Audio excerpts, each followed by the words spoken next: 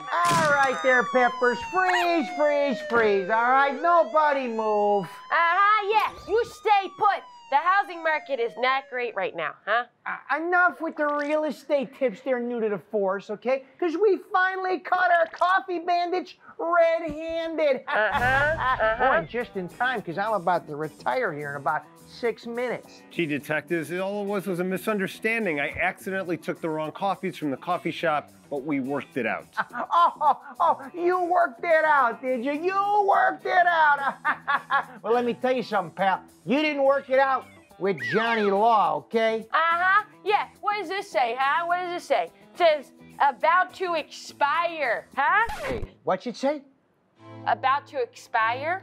You mean I, I'm dying?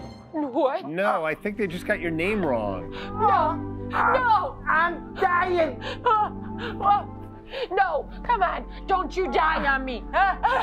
Listen, I want you to go on without me, okay? Because I'm about to expire here in about five minutes. Why, God? Why? Why, Bill? I don't know. Ah! Yeesh. These coffee places should really try harder to get the people's names right.